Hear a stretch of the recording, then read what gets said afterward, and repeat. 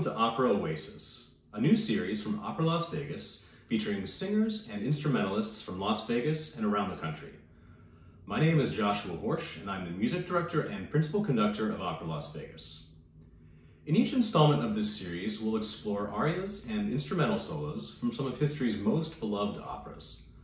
We'll also explore the history and context of each opera and what makes the music we'll hear so extraordinary. If you want to see more content like this from Opera Las Vegas, make sure to subscribe to our YouTube channel and like our Facebook page so you don't miss any upcoming episodes.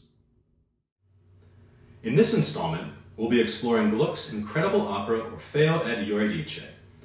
First performed in Vienna in 1762, this opera is based on the famous legend of Orpheus and his journey into the underworld to save his beloved Eurydice.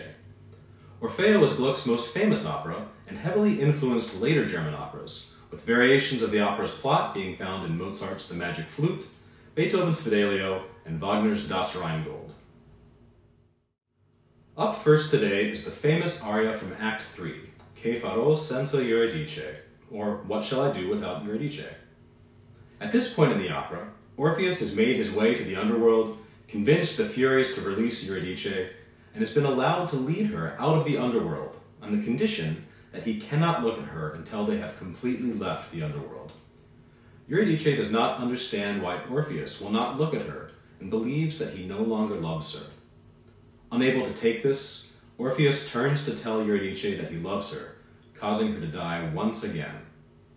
Looking down at his beloved, Orpheus sings this incredible aria. Singing for us today is an Opera Las Vegas favorite, Mary Beth Nelson.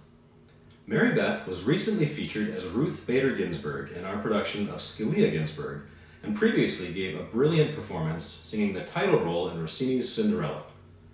Mary Beth has performed at some of the top opera houses across the country, including the Glimmerglass Festival, Florida Grand Opera, and Tri-Cities Opera. Joining Mary Beth at the piano is Opera Las Vegas music director Joshua Horsch.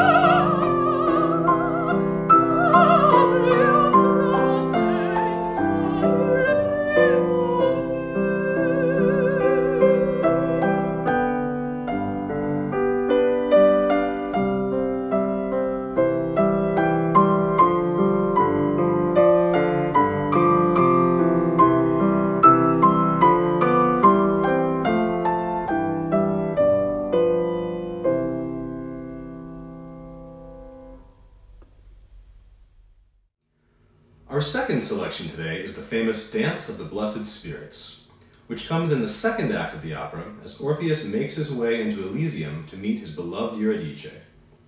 The music in this scene evokes the extraordinary beauty that greets Orpheus as he sees Elysium for the first time.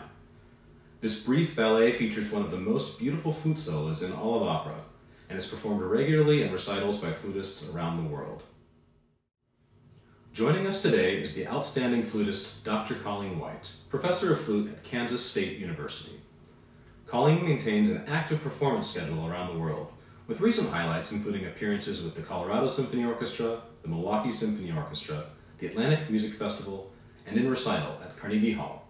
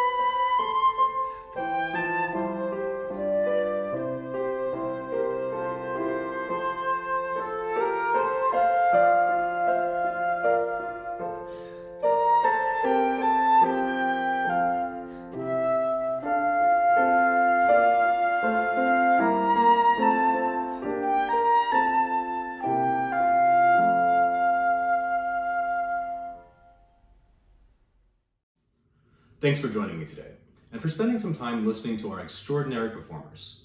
If you want to see more performances from Opera Las Vegas, make sure to subscribe to our YouTube channel and visit us at operalasvegas.com. See you next time.